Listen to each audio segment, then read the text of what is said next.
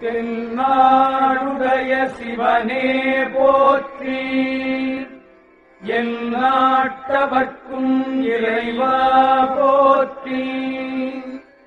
ஈசனடி போற்றி. எந்தையடி போற்றி. தேசனடி போற்றி. சிவன் தேவடி போற்றி. சிவாய.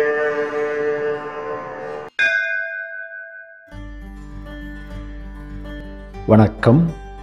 கிராமங்களில் அமைந்துள்ள பல நூற்றாண்டுகள் தொன்மையான தேவாரப் பாடல் பெற்ற சிவஸ்தலங்களை தரிசிக்கும் நம் பயணத்தில் இன்று திரு இடையாறு என்னும் ஊரில் அமைந்துள்ள அருள்மிகு மருந்தீஸ்வரர் திருக்கோவிலை தரிசனம் செய்யலாம்.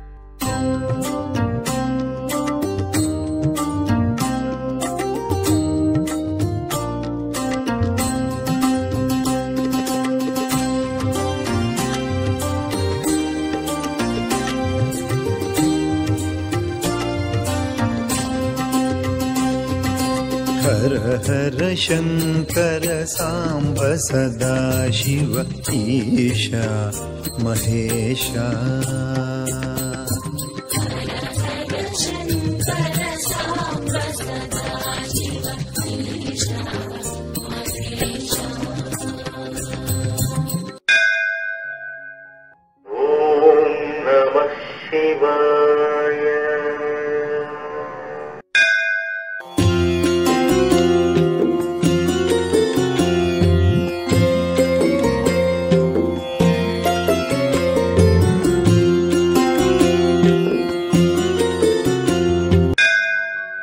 இத்தலத்தின் ஸ்தல வரலாற்றின்படி திருக்கைலையில் ஈசன் அன்னையிடம் சிவநாமத்தின் சிறப்பை உபதேசிக்கும் பொழுது சுகபிரம்ம மகரிஷி அதனை கிளிவுருவில் கேட்டதாகவும் அதனால் ஈசன் ஒருவர் பேசும் விஷயத்தை அவர் அறியா வண்ணம் ஒட்டு கேட்பது தவறு என்பதை உலக மக்கள் அறியும் வண்ணம் சுகபிரம்ம மகரிஷியிடம் பூலோகத்தில் பிறந்து தவம் புரிந்து மீண்டும் சிவலோகத்தை அடையுமாறு கூறியதாகவும் அதன்படி சுகபிரம்ம மகரிஷி யாசருக்கு மகனாக இப்புவியில் அவதரித்து இத்தலத்தில் அமைந்துள்ள மருதமரத்தடியின் அமர்ந்து தவம் புரிந்து இறைவனை அடைந்ததாகவும் வரலாறு.